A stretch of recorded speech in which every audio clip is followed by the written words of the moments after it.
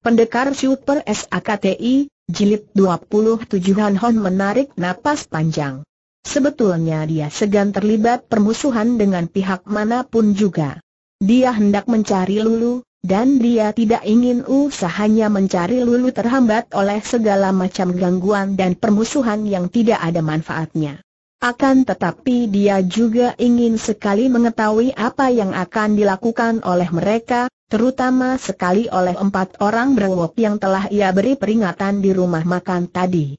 Ia bersikap tenang, melanjutkan perjalanannya terpincang-pincang dibantu tongkatnya hingga ia tiba di depan wanita dan empat orang berwok tadi yang memandang dengan mata terbelalak, masih tampak jari. Akan tetapi wanita itu memandangnya dengan sikap angkuh memandang rendah. Han Han hanya melihat ini semua dari sudut matanya dan hendak melanjutkan perjalanan dengan mengambil jalan dekat sungai agar tidak menerjang jalan yang sudah terpenuhi oleh rombongan pasukan itu. Pemuda buntung, berhenti dulu. Bentakan halus nyaring dari mulut wanita itu membuat Han Han terpaksa menghentikan langkahnya, berdiri tegak tanpa menoleh. Sunyi sejenak, dan terdengar wanita itu bertanya lirih, dia itukah orangnya? Benar, Sian Li. Hati-hati, dia lihai bukan main, jawaban si berwok berhidung besar ini terdengar jelas oleh Hon Han yang masih tidak bergerak, juga tidak menoleh. Heh, orang muda bincang. Siapa namamu? Han Han yang mendengar betapa wanita itu disebut Sian Li, Dewi, dapat menduga bahwa wanita itu tentulah seorang tokoh Kengou dan tentu memiliki kepandaian tinggi. Jika tidak, Mana berani memakai julukan Dewi?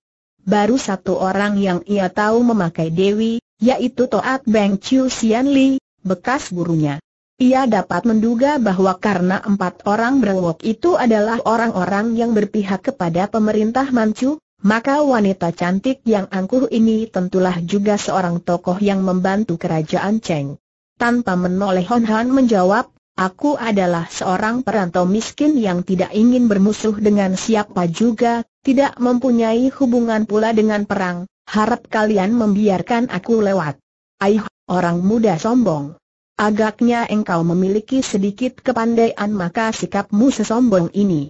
Ketahuilah, kami tidak berniat jahat terhadapmu, sebaliknya, kalau benar engkau memiliki kepandaian, kami akan membawamu menghadap atasan kami karena pemerintah yang bijaksana membutuhkan bantuan orang-orang yang memiliki kepandaian. Kalau engkau berkepandaian, percayalah, hidupmu akan terjamin dan engkau tidak usah berkeliaran merantau, menderita kekurangan dan kelaparan. Diam-diam Hon Hon tersenyum. Pemerintah kerajaan Cheng dan bangsa Manchu memang cerdik sekali. Kalau bangsa Manchu menggunakan kekerasan untuk membasmi orang-orang pribumi yang berkepandaian, tentu perlawanan rakyat takkan kunjung berhenti karena rakyat akan menjadi makin benci kepada pemerintah penjajah itu. Akan tetapi, dengan jalan membujuk orang-orang pandai membantu pemerintah, memberi mereka kedudukan yang takkan mereka peroleh pada waktu pemerintah dipegang oleh bangsa sendiri, maka kedudukan pemerintah Cheng akan menjadi makin kuat, mendapatkan simpati orang-orang Kengou dan dapat menarik hati rakyat. Terima kasih, aku tidak mungkin dapat menerimanya karena aku seorang yang tidak memiliki kepandaian apa-apa, sambil berkata demikian, tanpa menoleh Hon Hon lalu melanjutkan langkahnya. Wanita itu memperhatikan langkah Hon Hon yang terpincang-pincang, sejenak ragu-ragu akan kebenaran laporan empat orang berwok. Tiba-tiba tangan kirinya bergerak dan Cuit terdengar bunyi ketika sinar hitam menyambar ke arah punggung Hon Hon. Han Hon tentu saja maklum bahwa ada senjata rahasia menyambar ke arahnya dari belakang dan maklum pula bahwa senjata rahasia itu dilemparkan oleh seorang yang memiliki sinkang kuat bukan main. Diam-diam ia kaget dan tahu bahwa wanita itu sungguh tak dapat disamakan dengan empat orang Kang Tau Suliong, empat naga berkepala baja, yang berewokan itu. Tidak, wanita ini jauh lebih lihai, belum tentu kalah lihai oleh murid-murid Mabin Lomo, melihat dari hebatnya sambaran angin senjata rahasianya. Namun Han Hon yang kini telah memiliki tingkat kepandaian yang luar biasa dan sukar diukur tingginya, masih belum menoleh dan belum berhenti melangkah, Hanya kini tongkatnya bergerak sedikit ke belakang, kemudian sambil masih meloncat-loncat dengan sebelah kaki, ia mencabut tiga batang senjata rahasia piau hitam dari tongkat di mana piau-piau itu menancap dan membuangnya ke atas tanah. Wanita itu menahan seruan kaget.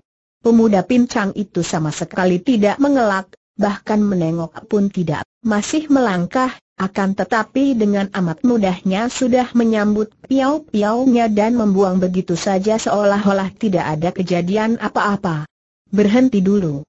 Han Han melihat bayangan berkelebat dan wanita yang dapat bergerak cepat sekali membayangkan ginkang yang tinggi, kini telah berdiri di depannya. Terpaksa Han Han menahan langkahnya dan memandang tak acuh. Sebaliknya wanita itu memandang kepadanya penuh selidik, agaknya mengingat-ingat di mana ia pernah melihat pemuda ini dan kapan ia mendengar akan seorang jago muda yang buntung kakinya. Setelah merasa yakin bahwa dia belum pernah mendengar tentang seorang tokoh kengau muda yang buntung kakinya, ia lalu berkata, Ternyata engkau memiliki kepandaian. Orang muda, marilah engkau ikut bersamaku menghadap atasanku. Guruku adalah seorang pembesar di istana, seorang panglima pengawal. Kalau engkau setelah diuji ternyata memiliki ilmu kepandaian yang tinggi, engkau tentu akan mendapat kedudukan yang tinggi pula. Han Han mengerutkan alisnya dan wanita itu diam-diam amat tertarik. Wajah pemuda buntung ini tampan dan gagah sekali. Jantung wanita ini mulai tergetar. Toanio, harap kau jangan menggangguku. Aku tidak mempunyai urusan dengan Toanio, dengan guru Toanio atau dengan siapa pun juga harap membiarkan aku mengambil jalanku sendiri dan kita tidak saling mengganggu. Orang muda, agaknya karena engkau belum tahu siapa aku, dan belum tahu pula siapa guruku maka engkau memandang rendah dan tidak menaruh perhatian. Ketahuilah bahwa aku adalah Hiat Chiang Sian Limas Unio, dan kalau engkau masih belum mengenalku, Guruku adalah Hwi yang Sin Chiang Gak Lo Chiampu sebagai murid Gak Liat tentu saja Mas Unio tidak mau menyebut nama poyokan gurunya, yaitu Kang Tau Kwi atau Setan Botak. Mendengar disebutnya Gak Liat, Han Han tercengang. Tanpa disadari ia mengangkat muka memandang wanita itu. Tentu saja ia sudah tahu bahwa Gak Liat si Setan Botak itu menjadi seorang panglima pengawal kerajaan Manchu, akan tetapi ia tidak menyangka bahwa wanita yang agaknya dipanggil oleh empat orang berwok ini adalah murid si setan botak. Melihat pemuda buntung itu akhirnya mengangkat muka memandangnya penuh perhatian, Mas Unio tersenyum dengan bangga, akan tetapi senyumnya membeku di mulut ketika pandang matanya bertemu dengan pandang mata Han Hon yang demikian aneh dan tajam menusuk menembus ke jantung menjenguk hati. Pandang matu itu begitu aneh dan seperti bukan pandang mati manusia. Tiba-tiba Mas Unio menjerit karena entah bagaimana caranya ia tidak dapat mengikuti dengan pandang matu saking cepatnya, tahu-tahu pundaknya sudah dicengkeram oleh pemuda buntung itu yang bertanya dengan suara yang membuat bulu tengkuknya berdiri. Hayo katakan apa yang terjadi dengan seorang gadis bernama Lulu yang diculik oleh Yang Seng. Mas Unio berusaha meronta untuk meloloskan diri dari cengkeraman, akan tetapi betapa kagetnya ketika ia merasa bahwa tenaganya lenyap dan sama sekali ia tidak mampu melepaskan pundaknya. Ia menjadi marah dan tangan kanannya menghantam ke depan. Tangan itu sudah berubah merah karena wanita ini telah menyalurkan singkangnya sehingga tangannya berubah menjadi tangan beracun hiat siang, tangan berdarah. Pukulan Hiat Chiang dari Mas Unio amat berbahaya dan jarang ada orang mampu melawannya. Juga amat cepat seperti kilat menyambar, padahal tubuh Han Hon begitu dekat di depannya. Akan tetapi mata Mas Unio berkunang ketika tubuh pemuda buntung itu berkelebat dan pukulannya mengenai angin, sedangkan tubuh pemuda itu telah berpindah ke belakangnya, namun tangan yang mencengkeram pundaknya masih berada di pundak. Sebelum Mas Unio dapat bergerak, tiba-tiba tubuhnya terjungkal dan ia jatuh miring karena didorong oleh Hon Hon dengan tenaga yang tak tertahankan lagi. Mas Unio baru saja berkedip, tahu-tahu dadanya telah ditodong oleh ujung tongkat sehingga ia tidak berani bergerak, maklum bahwa nyawanya berada di ujung tongkat itu. Hayo katakan, di mana Lulu? Mas Uniro sudah mendengar akan gadis mancu yang ditawan Owi yang Senden yang kemudian melarikan dari istana di mana ia dijadikan pelayan istana. Kini seperti terbuka matanya. Pemuda inilah yang disebut Siehon, pemuda aneh yang pernah menggegerkan istana. Akan tetapi menurut pendengarannya, pemuda ini tidaklah buntung kakinya. Dalam keheranan dan kebingungannya, Mas Uniro menjawab gagap. Aku, aku tidak, tidak tahu. Han Han menghela napas, mengeraskan hati dan menyentuh kulit dada wanita itu dengan ujung tongkat. Pada saat itu empat orang berwok sudah datang menyerang dengan golok mereka dari belakang. Han Han masih menodong Mas Unio dan tanpa menoleh ia menggerakkan tangan kirinya ke belakang. Terdengar suara hiruk pikuk, empat buah golok terlepas dari tangan mereka dan tubuh empat orang itu terjengkang roboh. Kiranya tangan kiri yang lihai dari Han Hon telah menyambut terjangan mereka dengan totokan-totokan pada pergelangan tangan mereka dan sekaligus mendorong mereka dengan hawa sinkang yang amat dahsyat. Lekas katakan Hon Hon mengancam lagi. Mas Unio tak dapat mempercayai matanya sendiri. Dalam segerakan saja pemuda buntung ini sudah merobohkannya dan membuatnya tidak berdaya, bahkan tanpa menoleh, entah dengan ilmu apa, telah merobohkan empat orang pembantunya yang tak dapat digolongkan orang lemah. Ia bergidik dan tengkuknya terasa dingin saking ngeri dan takutnya. Baru pertama kali ini selama hidupnya Mas Uniro merasa ngeri dan takut. Pemuda buntung yang menodongnya ini bukan manusia, melainkan iblis sendiri. Dia, dia menjadi pelayan istana. Tongkat itu ditarik kembali dan Han Hon tertawa. Kembali Mas Unio bergidik. Pemuda itu tertawa terbahak seperti orang yang merasa lucu. Dan memang Han Hon merasa amat geli hatinya. Tadi ia merasa yakin bahwa sebagai murid gak liat, tentu wanita ini tahu apa yang terjadi dengan Lulu. Keyakinannya terbukti dengan pengakuan wanita itu, akan tetapi mendengar betapa Lulu, adiknya itu menjadi pelayan istana, ia dapat membayangkan betapa akan lucunya, Betapa akan gegernya istana kalau mempunyai seorang pelayan seperti adiknya. Tentu Kaisar sendiri akan menjadi pening kepalanya. Maka ia tertawa saking geli hatinya, kemudian membalikan tubuhnya dan pergi dari situ. Tangkap dia. Bunuh. Hiat Chiang Sian Limas Unio sudah mendapatkan kembali keberaniannya.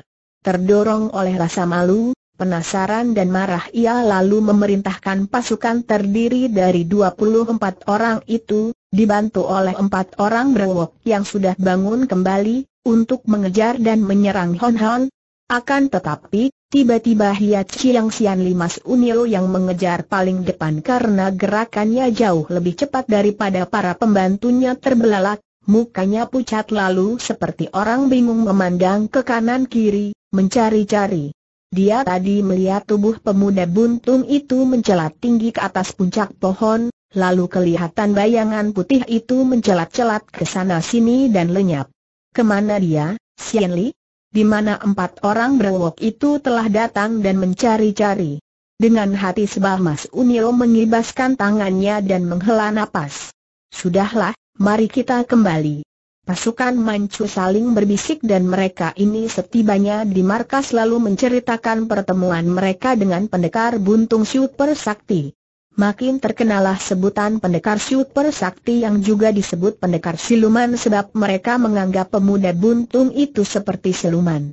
Sementara itu, Han Han yang sudah berhasil melarikan diri dari pasukan itu karena ia pun hanya menghendaki keterangan tentang Lulu, melanjutkan perjalanannya, seperti biasa, menyusuri sungai Fen Ho menuju ke utara. Ketika ia tiba di luar kota Taigoan, tiba-tiba ia mendengar suara orang. Tai Hiap, harap suka menunggu. Han Han mengerutkan alisnya dan menengok. Ketika melihat dua orang berlari-lari cepat, ia membalikan tubuhnya karena ia mengenal dua orang gagah yang ia lihat di restoran tadi. Mereka itu agaknya berlari cepat dan napas mereka agak terengah-engah namun wajah mereka berseri gembira. Untung kami dapat menyusul Tai Hiap, kata yang tua dan mereka berdua serta-merta menjatuhkan diri berlutut di depan Hon Hon. Pemuda buntung ini mengerutkan alisnya makin dalam dan berkata, suaranya penuh wibawa. Tidak baik begini, harap Jiwi suka bangun.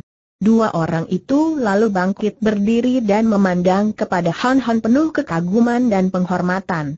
Mohon maaf dari Tai Hiap bahwa kami berdua mempunyai mata akan tetapi seperti buta saja tidak melihat Gunung Taisan menjulang di depan mata. Semenjak Tai Hiap keluar dari restoran, kami berdua melihat betapa anjing-anjing penjilat itu memberitahu kepada pasukan musuh. Kami berusaha memberitahu Tai Hiap akan dihadang, akan tetapi, ah, sungguh kami harus merasa malu. Bagaimana kami akan memperingatkan Tai Hiap, kiranya mereka itu sekawanan tikus menghadapi kucing ketika bertemu Tai Hiap. Hebat sekali.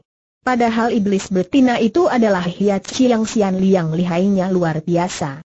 Dalam segerakan saja roboh yang muda berseru, memandang Han Hon dengan kagum. Han Hon mengerti dua orang ini tadi telah menyaksikan pertemuannya dengan pasukan Manchu, maka ia lalu berkata, hendaknya Jiwi tidak melebih-lebihkan hal itu. Kini Jiwi mengejar saya ada keperluan apakah? Tai Hiap, saya bernama Chiang Boan dan dia ini adalah Sotek Kun. Kami adalah dua orang utusan dari Buong Ya untuk menyelidiki daerah ini. Melihat kesaktian Tai Hiap, kami segera melakukan pengejaran. Kini kami mohon sebila kiranya Tai Hiap membantu perjuangan Buong Ya melawan penjajah. Hem, Jiwi Im Hiong.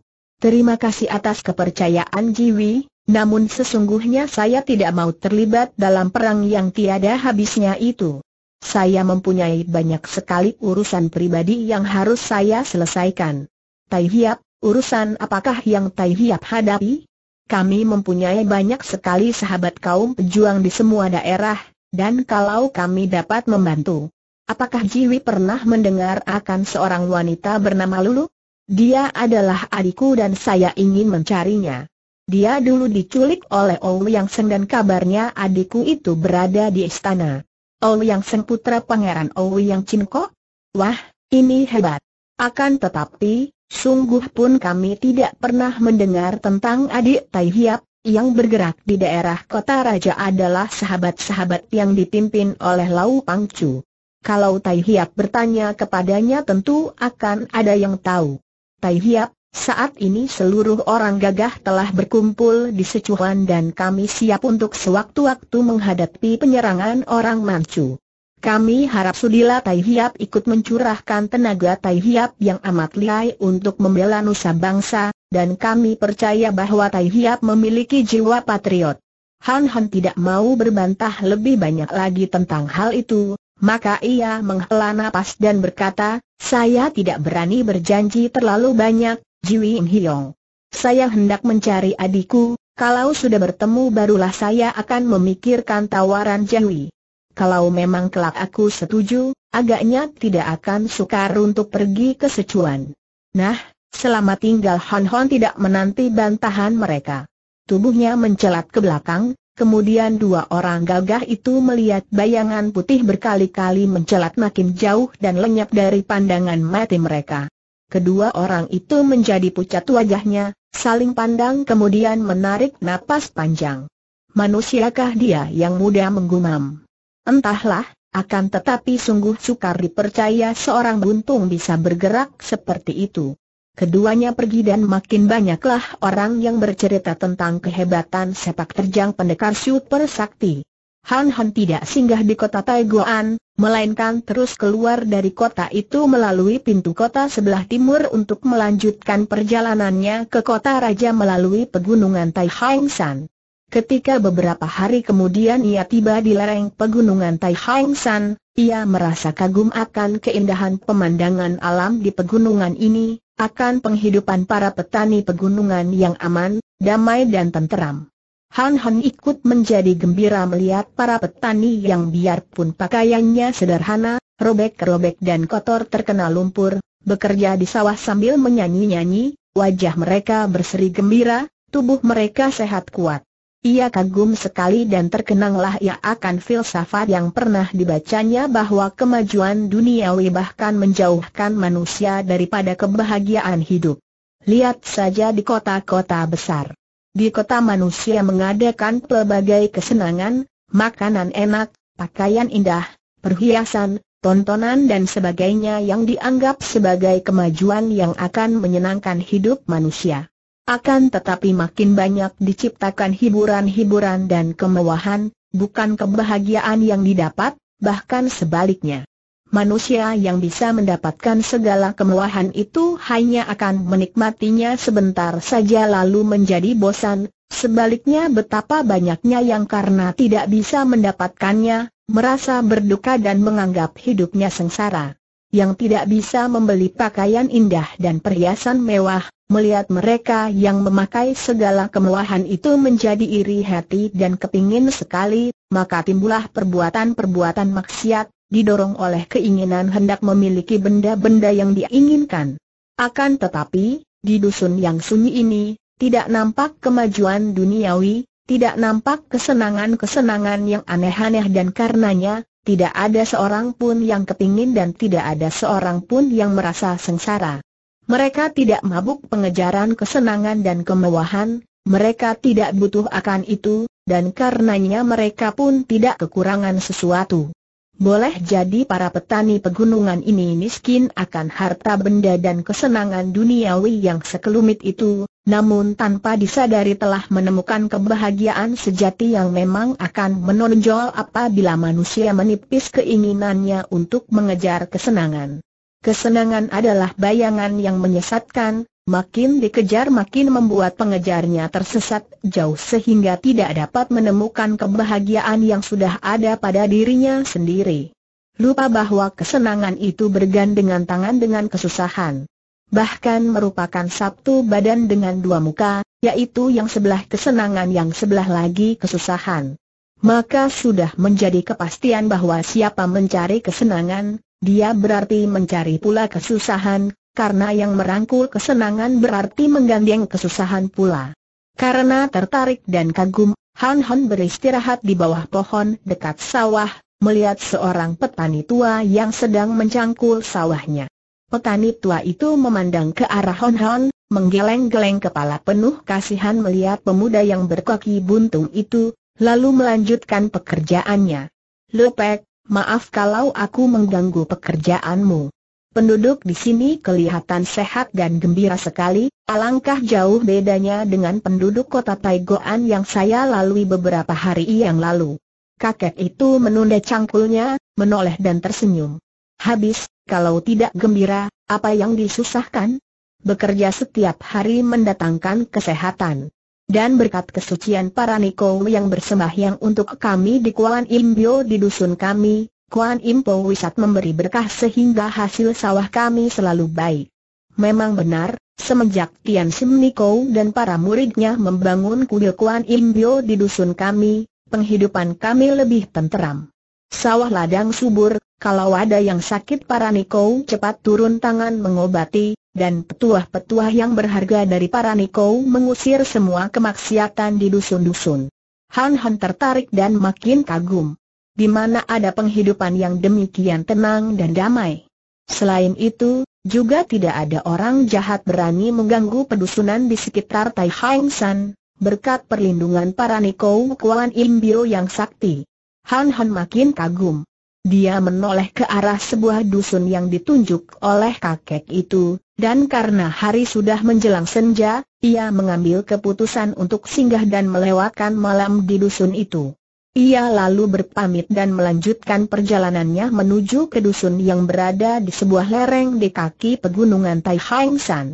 Ketika tiba di luar dusun, ia mendengar derap kaki kuda dan seekor kuda yang ditunggangi seorang laki-laki bertubuh tinggi besar, dengan sebatang golok tergantung di punggung, melewatinya dan meninggalkan debu yang mengotori pakaian Han Han.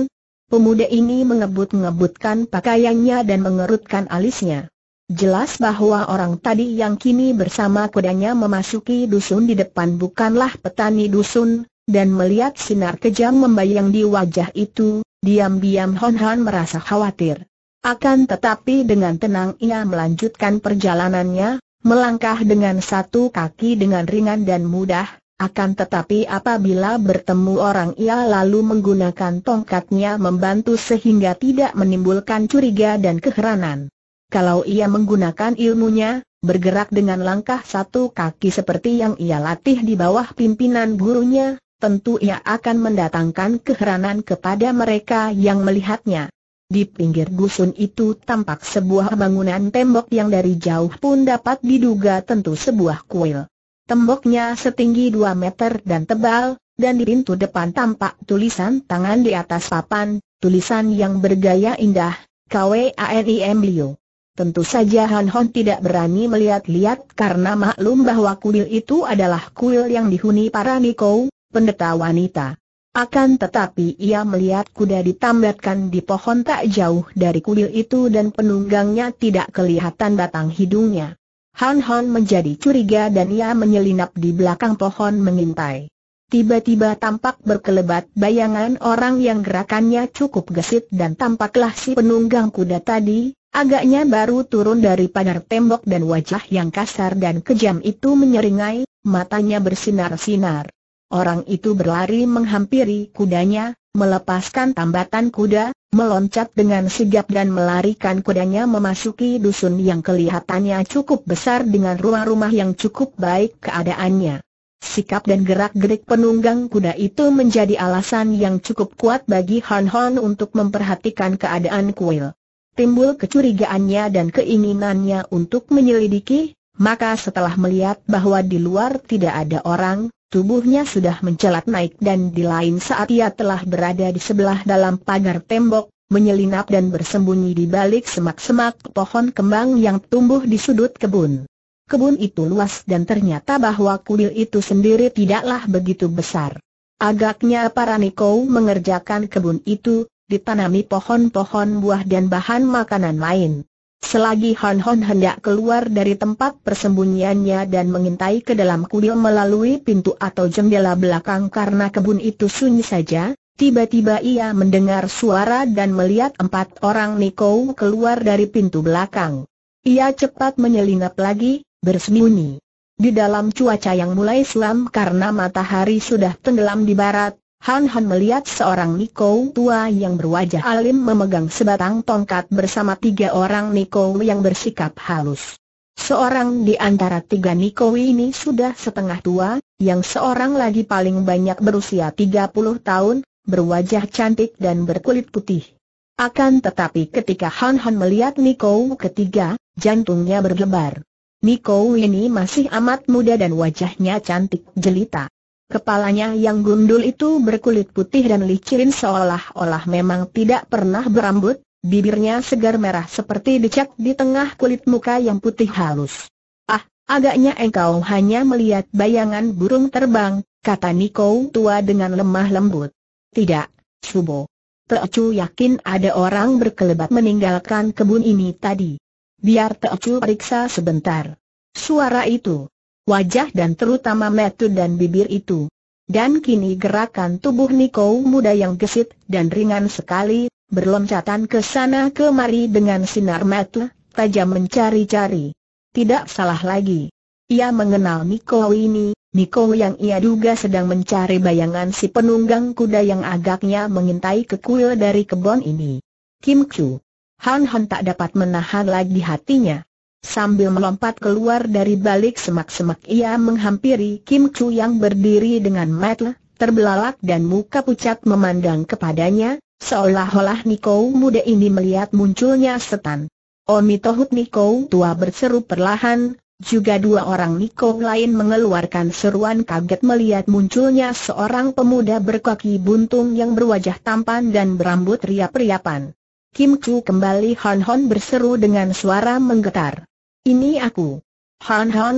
Niko muda ini mukanya menjadi seperti muka mayat, mulutnya yang tadinya merah itu menjadi pucat pula, terbuka sedikit dan matanya terbelalak memandang wajah Hon Han, hidungnya kembang kempis, dadanya turun naik. Kim Chu, lupakah engkau kepadaku Hon Hon melangkah mendekat dan memegang pundak Niko itu, suaranya makin menggetar dan wajahnya juga agak pucat, matanya bersinar tajam penuh selidik. Tidak tiba-tiba bibir itu mengeluarkan suara yang menggetar bunyinya, dengan bibir menggigil. Tidak, jangan sentuh aku, ah, aku, bukan, bukan dia, aku, seorang Niko. Niko muda itu membuang muka yang ditundukkan, tangannya dengan halus merenggut tangan Han Hon dari pundaknya, tangan yang dingin menggigil seperti seekor burung ketakutan. Kim Chu, Han Han menahan suaranya yang terisak ketika ia melihat wajah Niko yang ditundukkan itu menitikan dua butir air mata dari mata yang kini dipejamkan dan mulut yang kini berbisik-bisik membaca Liam Keng. Orang muda, perbuatanmu ini tidak patut. Engkau hendak menodai kesucian seorang Niko dan mengotorkan Kuan Im Bio suara itu halus, akan tetapi penuh teguran. Han Han sadar dan cepat memandang Niko tua itu. Niko itu berdiri tegak, kening berkerut dan sepasang mata yang halus amat berwibawa. Dua orang Niko lain berdiri menunduk, merangkap kedua tangan di dada dan mulutnya berkemak-kemik, seperti mulut Niko muda itu, membaca doa. Maaf, maaf, Han Han merasa seperti terpukul, meloncat ke belakang dan tubuhnya mencelat ke atas pagar tembok. Dari atas pagar itu menoleh lagi kepada Niko muda yang masih menunduk dan meruntuhkan air mata sambil berkemak-kemik berdoa mohon kekuatan batin kepada Kuan Im Po Wasat. Oh! Kim Chu suara Han Han mengandung isak dan tubuhnya berkelebat lenyap dari atas tembok. Tubuh Niko muda itu terhuyung kemudian terguling roboh. Pingsan. Sibuklah dua orang Niko yang lain mengangkatnya dan Niko tua berulang kali menghela napas dan menyuruh bawa tubuh Niko muda yang pingsan itu ke dalam kamarnya, kemudian menyuruh dua orang muridnya itu keluar dari kamar. Niko muda itu memang Kim Chu. Telah diketahui bahwa setelah kuil di mana Niko tua itu tinggal kebanjiran, Tian Sim Niko mengajak murid-muridnya yang pada waktu itu telah menjadi sepuluh orang untuk mengungsi dan akhirnya menetap di lereng pegunungan Tai Hang San mendirikan sebuah kuil sederhana. Selama itu, Kim Chu yang telah memakai nama Kim Sim Niko, hidup tenteram dan damai, bahkan kalau tidak ada gangguan bayangan Hon Han tentu dia telah mencapai kebahagiaan seperti yang telah dicapai Tian Sim Niko dan murid-muridnya. Pertemuan tiba-tiba dengan Hon Han yang dianggapnya sudah mati itu menimbulkan gelombang dahsyat dalam hati Kim Sim Niko, merupakan pukulan batin yang amat hebat sehingga ia roboh pingsan. Luka di hatinya yang tadinya sudah mulai sembuh dan mengering, kini seperti dirobek-robek dan mengucurkan darah. Han Han, bisikan ini keluar dari bibir Kim Sim Niko yang bergerak perlahan, lalu bangkit duduk, Pandang matanya kosong sehingga ia tidak melihat bahwa gurunya duduk di situ. Ia menoleh ke kanan kiri, kembali memanggil lirih, Han Han, Omi Tohut, sadarlah dan kuatkan hatimu, Kim Sim. Han Han kini panggilan itu merupakan jerit yang langsung keluar dari hatinya. Muridku, sadarlah kembali Niko tua itu berkata halus. Kim Sim Niko menoleh dan, sambil menjerit ia menubruk gurunya, lalu berlutut dan menangis terseduh-seduh di pangkuan gurunya. Subo, ampunkan Teocu, ah, Teocu yang lemah berdosa besar. Menangislah, muridku, menangislah. Powosat selalu menaruh kasihan dan memaafkan orang lemah yang sadar akan kelemahannya, Niko itu memeluk muridnya dan membiarkan Niko muda itu menangis di dadanya. Dia sendiri tergetar hatinya dan tersentuh perasaan harunya, namun bagaikan air telaga yang sudah tenang, keriput air yang sedikit itu sebentar saja lenyap. Dia sengaja membiarkan muridnya menangis, oleh karena ia tahu bahwa tekanan batin yang hebat itu akan amat berbahaya bagi kesehatannya kalau tidak diberi saluran keluar. Dan saluran terbaik pada saat itu hanyalah membiarkannya menangis sepuasnya. Kim Chu menangis sesenggukan sampai tubuhnya berguncang-guncang, Air matanya membanjir bagaikan air bah menjebol beniungannya, hatinya menjerit-jerit keluar dari tenggorokannya sebagai keluh dan rintih melengking. Setelah dadanya tidak terlalu terhimpit lagi ia berkata, suaranya serak dan terputus. Aduh, Subo. Apakah yang harus Teocu lakukan? Bagaimana Teocu, ini, Subo, tunjukkanlah jalan, bagi Teocu. Tian Sim Niko tersenyum. Omi Tohut, puji syukur kepada Kuan Impo Wisat yang penuh welas asih. Tanyalah kepada hati sanubarimu sendiri, anakku. Pini tidak akan memaksamu, tidak akan menghalangimu. Engkau ambillah keputusan sendiri, Kim Sim Niko. Subo, tolonglah Teocu, Teocu bimbang, Teocu bingung. Kemunculan Han Hon bagaikan sambaran petir mengenai kepala Teocu, gelap semua, tolonglah Subo memberi jalan, memberi petunjuk kepada Teocu. Baik ya, tenangkan dan sabarlah hatimu. Mari kita bersemedi sebentar, Pini akan membantumu memperoleh ketenangan dan kesabaran. Karena hanya hati yang tenang penuh kesabaran sajalah yang akan mampu menggunakan pikiran dan pertimbangan bersih dan tepat. Kim Sim Niko melepaskan pelukannya lalu duduk bersila di atas tanah. Sebagai seorang ahli silat tinggi, bekas murid orang-orang sakti seperti Ma Bin Lomo dan Toat Beng Cui Sian Li, tentu saja semedi merupakan hal yang sudah biasa ia lakukan. Akan tetapi dalam keadaan batin tertekan seperti itu, kalau tidak dibantu Tian Sim Niko, tak mungkin dia dapat mengheningkan ciptanya. Tak lama kemudian terasalah olehnya getaran yang halus memasuki dirinya dan ia tahu bahwa gurunya yang biarpun tidak pandai ilmu silat akan tetapi dalam soal kebatinan jauh lebih tinggi tingkatnya daripada Toat Beng Chiu Sian Li, telah membantunya. Sebentar saja Kim Sim Niko dapat mengheningkan cipta dan setelah mereka menghentikan semedi, Kim Sim Niko sudah dapat tenang, sungguh pun pikirannya masih tertekan dan bayangan Hon Hon masih belum mau lenyap dari depan matanya. Muridku, ini akan berusaha membantumu memberi petunjuk. Akan tetapi, ini tidak sekali-kali hendak mempengaruhimu, karena hal ini menyangkut jalan hidupmu sendiri. Kalau Pini memaksanya, yaitu memaksakan kehendak hati Pini, Hal itu berarti Pini menyalahi hukum yang sudah ditentukan dalam hidup manusia. Nah, Pini mulai dengan pertanyaan yang hendaknya kau jawab sejujur-jujurnya. Baiklah, Subo. Apakah engkau mencinta Han Han? Teocu mencintanya, Subo. Dahulu, Han Han adalah satu-satunya orang yang Teocu cinta. Dan sekarang pun, hati Teocu masih rindu kepadanya, rindu akan cintanya, Sungguh pun perasaan itu hanya merupakan lamunan belaka karena sesungguhnya, setelah mempelajari dan melatih pelajaran dari Subo untuk mengubah cinta kasih perorangan menjadi cinta kasih alam semesta, mencinta setiap manusia, bahkan setiap makhluk, dunia dan isinya, Teocu menjadi ragu-ragu apakah cinta kasih Teocu masih sekuat dulu terhadap Han Hon, Niko tua itu mengangguk-angguk, kelihatannya lega mendengar ini. Akan tetapi ia masih belum yakin benar, maka tanyanya kembali, apakah engkau masih mempunyai keinginan untuk menyerahkan tubuhmu kepadanya, ingin melakukan hubungan badani dengan dia? Apakah engkau masih ingin untuk menjadi istrinya dan kemudian melahirkan anak-anak keturunannya? Kim Sim Niko menundukkan mukanya yang menjadi merah, berpikir sampai lama menjenguk hati dan pikiran sendiri agar dapat memberi jawaban sejujurnya karena dia maklum bahwa gurunya berusaha keras untuk menolongnya dan hanya gurunya inilah yang akan dapat menunjukkan jalan yang tepat baginya. Kemudian ia mengangkat muka, memandang gurunya dengan sinar mata, tulus dan berkata, Subo tentu maksudkan apakah Teocu masih mengandung nafsu birahi terhadap dia? Kalau benar demikian pertanyaan Subo, maka jawaban Teocu adalah tidak. Berkat bimbingan Subo, Teocu telah dapat menguasai dan mengendalikan nafsu birahi. Tidak, Subo, cinta Teocu terhadap Hon Hon bukanlah cinta agar menjadi istrinya dan agar Teocu menjadi ibu anak-anaknya. Omi Tohut, syukurlah, engkau telah dapat membebaskan diri dari ikatan yang amat kuat. Dan kalau begitu, maka sebaiknya, bagimu sendiri dan bagi dia pula, engkau harus memutuskan hubunganmu dengan dia.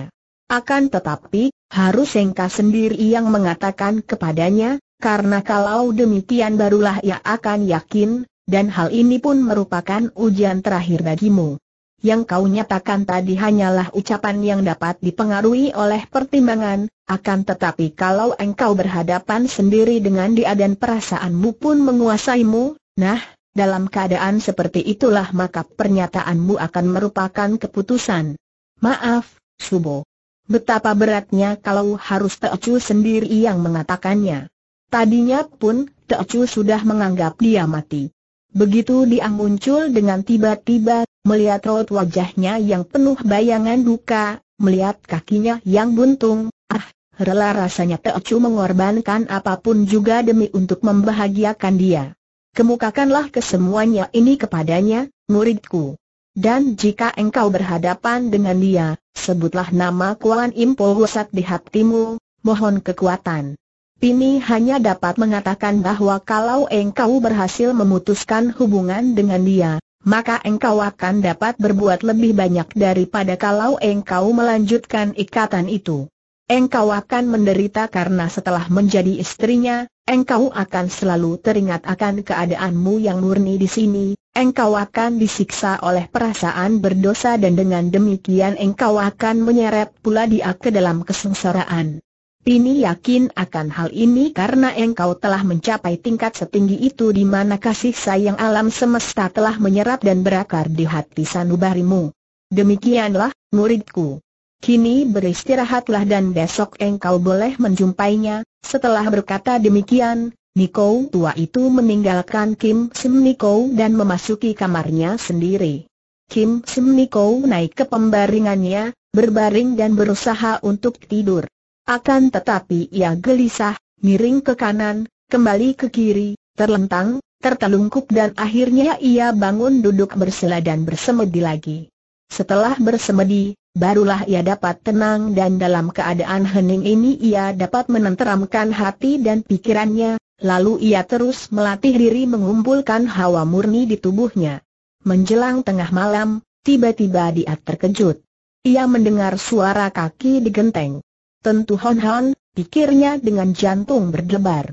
Biarlah ia bersemedi terus, karena menghadapi Hon Hon, dalam keadaan seperti ini ia akan merasa lebih kuat batinnya. Ia harus memutuskan hubungan mereka, harus mematahkan ikatan di antara mereka. Ia harus menolaknya, betapapun hal ini menyakitkan. Akan tetapi sampai lama, ia tidak mendengar gerakan lagi. Tiba-tiba ia mendengar suara rintihan perlahan di kamar seperti rintihan orang tercekik atau terbungkam mulutnya, kemudian diam. Hatinya menjadi curiga dan kembalilah wataknya sebagai Kim Chu murid In Kok San. Sekali mencelat, tubuhnya sudah melayang keluar dari jendela dan menerobos memasuki jendela Pui Sim Niko, yaitu sucinya yang berusia 30 tahun, yang cantik dan berkulit putih. Dan apa yang dilihatnya dalam kamar yang hanya diterangi sebatang lilin itu membuat ia hampir mengeluarkan makian saking marahnya. Ia melihat tubuh sucinya itu telanjang bulat, pakaian Niko telah robek-robek semua di kanan kiri tubuhnya yang putih mulus. Sucinya dalam keadaan tertotok, air matanya bercucuran dan seorang laki-laki tinggi besar sambil menyeringai meraba-raba dada sucinya dan menciumi bibirnya. Manusia jahat Kim Sim Niko masih dapat menahan makian yang lebih kotor, dan ia meloncat ke dekat pembaringan. Laki-laki itu meloncat turun dan menyeringai lebar. Hahaha, engkaulah yang kucari sebetulnya. Engkau paling muda dan paling cantik. Dan engkau, Heh engkau masih perawan. Siang tadi kulihat engkau, akan tetapi aku salah masuk. Betapapun juga, dia ini boleh juga. Pergilah Kim Sim Niko mengayun kakinya dan tubuh laki-laki itu terlempar ke belakang menabrak dinding. Ia kaget sekali dan cepat merangkak bangun sambil menyambar golok yang tadi ia letakkan di atas meja. Eh, kiranya engkau pandai silat. Bagus, engkau menyerah atau ku penggal lehermu, Ku bawa kepalamu yang gundul dan cantik itu untuk hiasan kamarku, haha. Golok lelaki itu menyambar, namun sekali Kim Sim Niko menggerakkan tangan, laki-laki itu berteriak. Goloknya terlepas, tangannya lumpuh karena pergelangan tangannya patah tercium jari tangan Kim Sim Niko yang amat kuat. Kim Sim Niko yang sudah marah sekali lalu menubruk maju, Kedua tangannya dengan jari terbuka menghantam ke arah dada laki-laki itu. Pukulan ini sepenuhnya mengandung pukulan Toat Beng Chiang dan sudah dapat dipastikan bahwa laki-laki itu tentu mati. Untung sekali baginya, pada detik terakhir, melihat wajah laki-laki yang ketakutan itu, Kim Sim Niko teringat akan sifat tulas asih, dan ia menaikkan sasarannya. Kek-kek bukan dada lelaki itu yang pecah, melainkan kedua tulang pundaknya yang hancur. Aduh tobaat, aduh, aduh, ampunkah saya, Sian Kou lelaki itu mengaduh-aduh sambil berkelojotan di atas lantai. Hem Kim Sim Niko mendengus, lalu cepat menubruk sucinya, membebaskan totokannya dan menyelimuti tubuhnya yang telanjang bulat. Niko itu menangis, namun dihibur oleh Kim Sim Niko, syukur kepada Pohosat bahwa kedatanganku belum terlambat, suci, Niko itu memeluk Kim Sim Niko sambil menangis. Pintu kamar terbuka dan Tian Sim Niko masuk sambil memegang sebatang lilin, diikuti oleh para Niko karena mendengar suara gaduh dalam kamar itu. Apakah yang terjadi di sini? Subo, manusia sesat ini hendak melakukan perbuatan terkutuk, kata Kim Sim Niko. Niko tua itu mengering ke arah Pui Sim Niko yang berkerudung selimut dan memandang laki-laki yang patah pergelangan lengan kanan dan remuk kedua tulang pundaknya itu. Hem, ambilkan tempat obat penyambung tulang, perintahnya kepada seorang murid yang segera memenuhi perintah gurunya. Setelah keranjang obat itu datang, Tian Sim Niko lalu mengobati kedua pundak dan pergelangan tangan laki-laki itu yang terus merintih-rintih dan minta-minta ampun. Setelah selesai membalut, Tian Sim Niko lalu berkata, kalau mau minta ampun, mintalah ampun kepada Tian dan jadikanlah pengalaman pahit ini sebagai obat untuk menyembuhkan penyakit yang menyerang jiwamu. Nah, pergilah. Laki-laki itu menjatuhkan diri berlutut di depan Tian Sim Niko, kemudian ia diperbolehkan keluar melalui pintu samping yang dibuka oleh seorang Niko. Kemudian para Niko itu kembali memasuki kamar masing-masing. Akan tetapi Kim Sim Niko tidak kembali ke kamarnya, melainkan memasuki ruangan Liam Keng dan berlutut di depan sebuah arca Buddha yang besar. Ia bersila, bersemedi dan mulutnya berkemak-kemik membaca Liam Keng.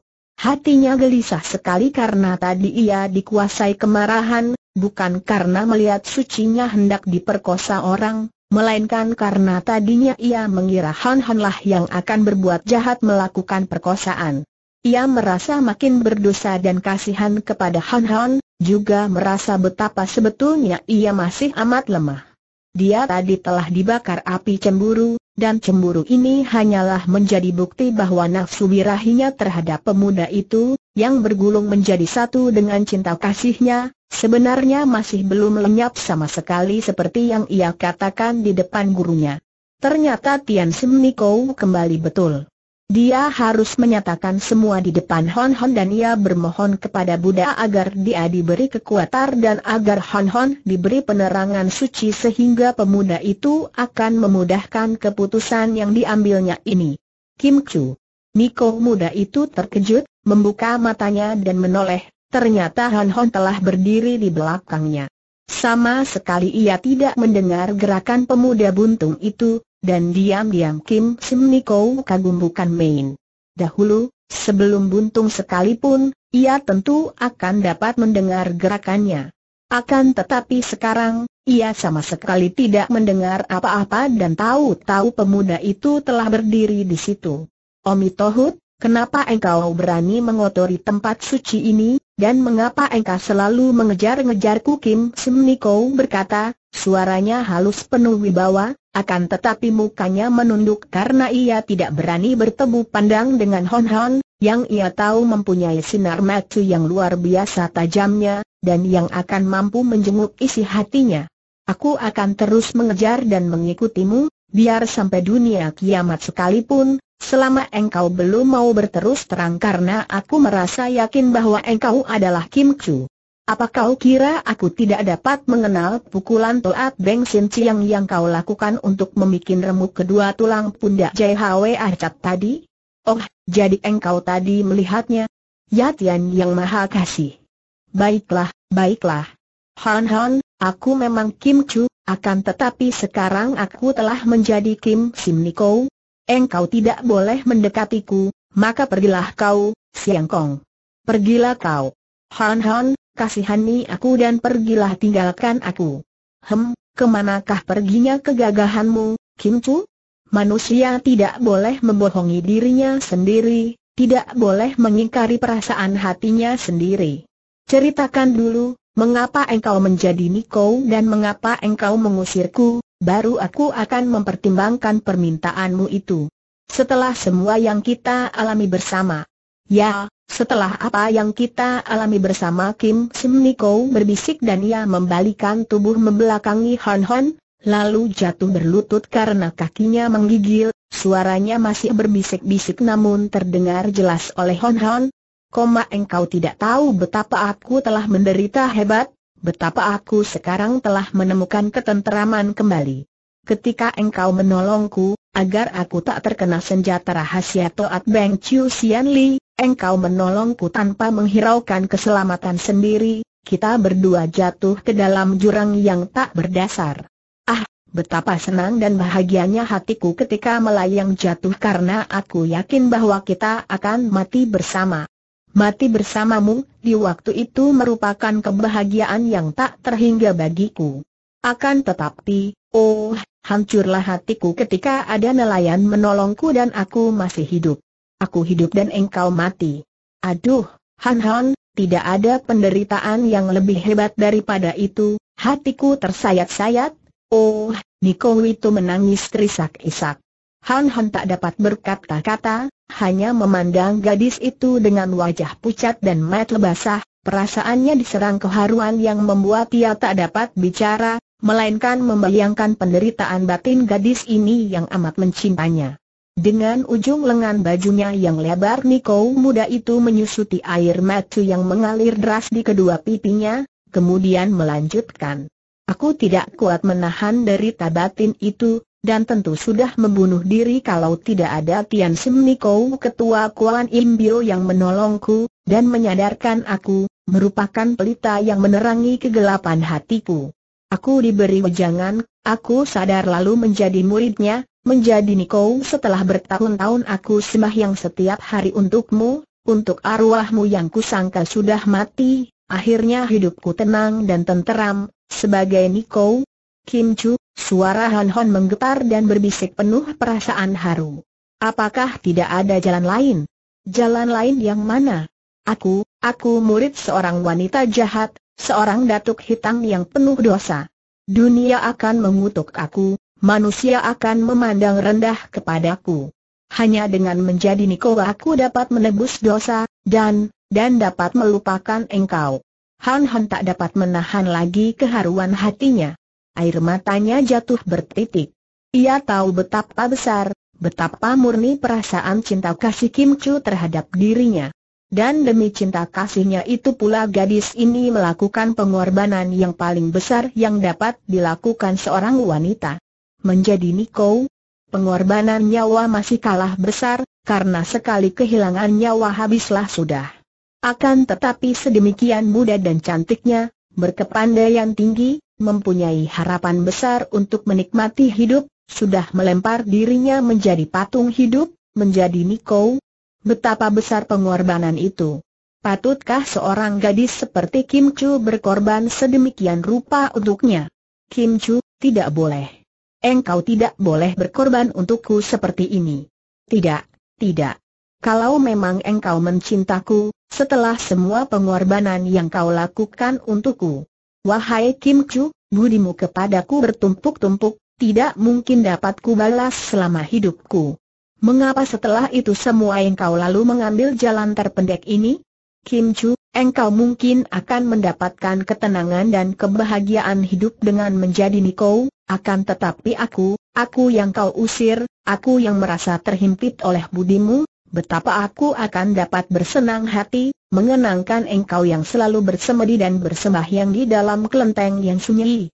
Ah, Kim Chu, jelas bahwa engkau masih mencintaku, mengapa, mengapa engkau merenggutnya putus membiarkan hatimu terkoyak-koyak berdarah?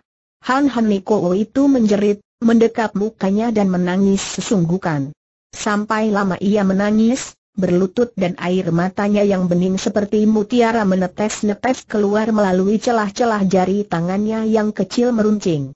Kalau begitu, kalau aku merusak hatimu, kalau aku mendatangkan sengsara kepada engkau orang yang kukasihi dengan seluruh jiwa ragaku dengan kelanjutan hidupku menjadi Niko, kalau begitu, biarlah aku mati saja. Cepat sekali Niko muda yang sudah menurunkan kedua tangan dari depan mukanya dan memandang ke depan dengan muka beringas, meloncat ke depan, ke arah Harca Seng Buddha yang tersenyum cerah, hendak membenturkan kepalanya yang gundul licin itu kepada kaki arca yang terbuat daripada batu hitam. Wuuuut! Tubuh Niko itu meluncur ke depan karena dalam kenekatannya Niko ini sudah mengerahkan ginkang ketika meloncat dan tidak menggunakan tenaga sinkang untuk melindungi kepalanya karena ia ingin agar sekali bentur, kepalanya akan pecah. Plak! Kepala Niko itu bertemu dengan telapak tangan Hon Han yang lunak karena Hon Han sama sekali tidak menggunakan tenaga pula ketika ia tadi cepat meloncat ke depan Arca dan menaruh tangannya di depan kaki Arca, telapak tangannya menyambut kepala Niko itu sehingga tangannya lah yang terhimpit dengan keras ke kaki Arca. Niko itu terpental ke belakang, cepat meloncat berdiri dan memandang dengan mata terbelalak kepada Han Han, ia melihat tangan kanan pemuda buntung itu bercucuran darah yang keluar dari luka di punggung tangannya, darah yang membasahi kaki Arca sehingga menjadi merah. Kim Sim Niko, apa yang kau lakukan ini? Kini suara Han Han terdengar keras dan pandang matanya penuh daya pengaruh menundukkan. Niko muda itu seperti terpesona, seperti baru bangun dari mimpi dan ia memandang wajah Han Han yang pucat, dahi berkerut, mulut yang membayangkan derita, akan tetapi sinar mata yang tajam berwibawa. Han Han Kim Sim Niko mengeluh. Kim Sim Niko, sadarlah bahwa tidak ada dosa yang lebih besar, tidak ada sifat pengecut yang paling rendah daripada membunuh diri suara Han Han kini tidak menggetar penuh keharuan seperti tadi, bahkan keras dan tegas. Akulah yang salah dan engkau benar. Memang sebaiknya begini. Engkau menjadi Niko dan menemukan kebahagiaan. Adapun aku, hem, terus terang saja, Kim Sim Niko, aku hanya kasihan dan ingin membalas budi. Dan melihat engkau berbahagia di sini, aku pun akan merasa lega. Biarlah kita saling mendoakan saja. Selamat tinggal tubuh Han Hon berkelebat dan lenyap dari ruangan itu.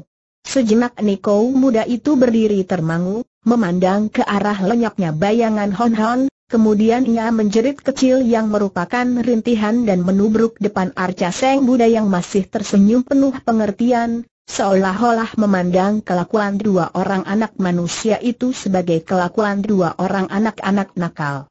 Kim Sim Niko merintih dan menangis, menciumi ujung kaki Arca yang merah oleh darah Hon Hon, mulutnya berbisik-bisik menyebut nama Han Hon dan air matanya mencuci noda darah di kaki Arca itu. Darah Hon Hon, Han Han sejenak memandang penglihatan yang meremas hatinya itu. Melihat betapa Kim Chu menangis dan menciumi bekas darahnya, ingin Han Han masuk kembali dan mendekapnya, memaksanya meninggalkan kuil dan memasuki dunia memeluk kebahagiaan bersama dia. Akan tetapi, kesadarannya membisikkan bahwa perbuatannya itu tidaklah benar. Sudah pastikah bahwa kelak Kim Chu akan hidup bahagia di sampingnya? Apakah dia mencinta Kim Chu? Memang, mengingat akan budi gadis yang cantik jelita dan amat murni cintanya itu, siapakah orang yang tidak akan menyatakan cinta kepadanya? Betapapun juga, Han Han ragu-ragu dan merasa yakin bahwa sebaiknya ia meninggalkan Kim Chu dalam usaha menemukan bahagia. Tadi ia sengaja keras, sengaja menyadarkan Kim Chu bahwa dia hanya kasihan dan ingin membalas budi, sama sekali bukan mencinta. Sekali lagi Han Hon memandang Kim Chu, seolah-olah hendak mengusir bayangan Niko muda itu di lubuk hatinya, kemudian ia menghela napas dan berkelebat pergi menghilang di dalam gelap. Peristiwa pertemuannya dengan Kim Chu itu tanpa disadarinya sudah menambah sebuah guratan lagi di dahinya.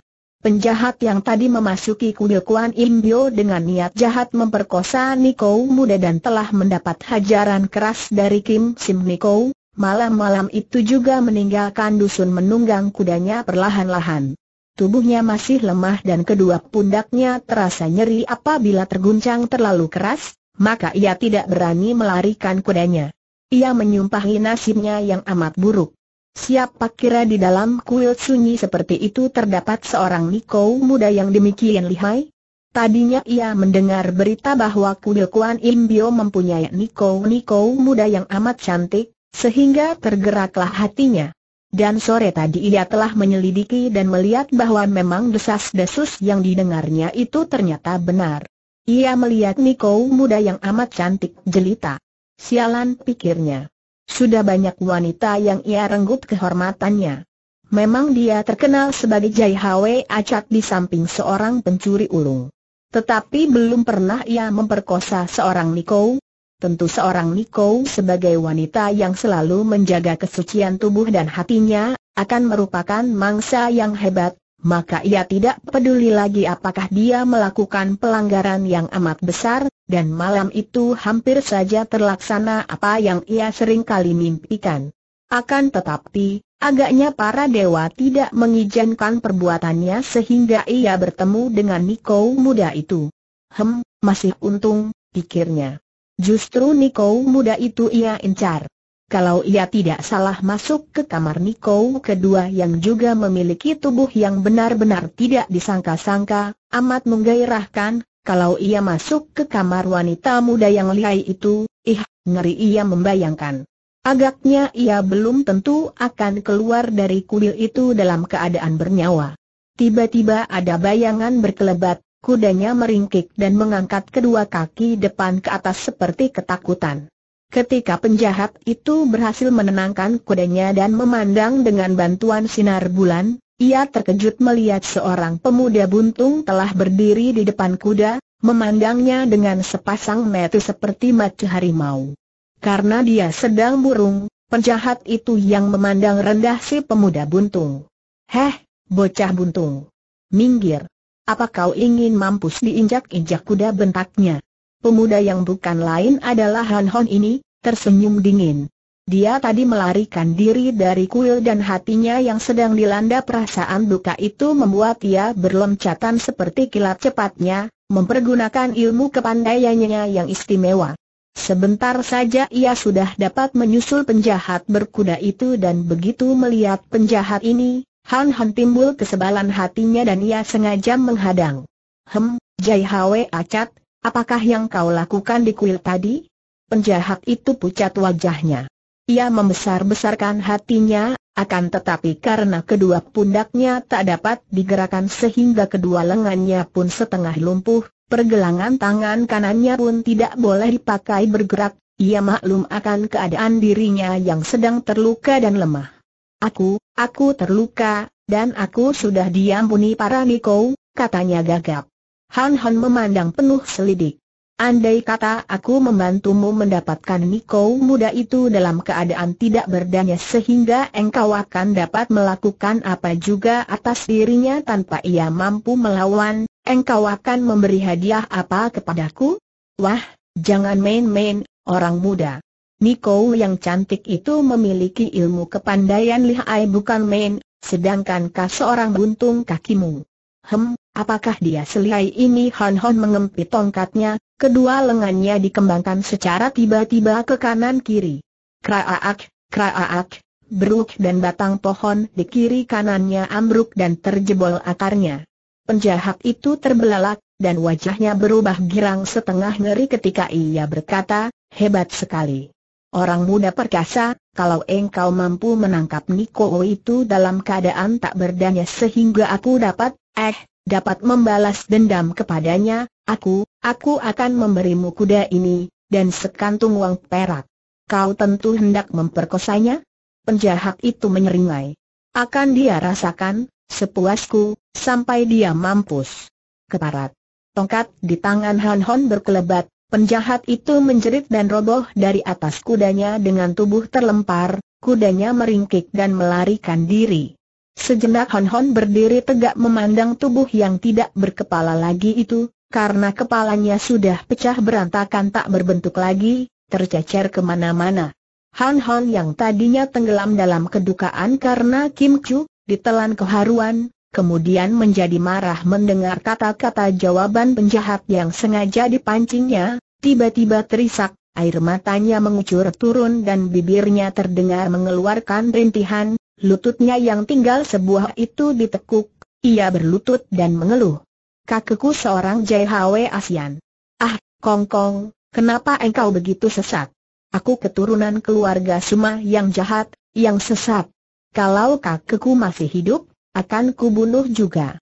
Ah, Kong Kong, kenapa kau sejahat itu? Kemudian ia meloncat bangun, wajahnya keruh dan beringas, suaranya keras, karena darah terkutuk itu mengalir di tubuhku, aku dibenci sana-sini, dimusuhi, nasibku selalu buruk, ya Tuhan, ampunilah hamba. Ia lalu mencelat jauh dan seperti gila melanjutkan perjalanan sambil mengerahkan kepandaiannya yang membuat tubuhnya makin lama mencelat makin jauh dan makin cepat sehingga seolah-olah kakinya tidak menginjak tanah lagi.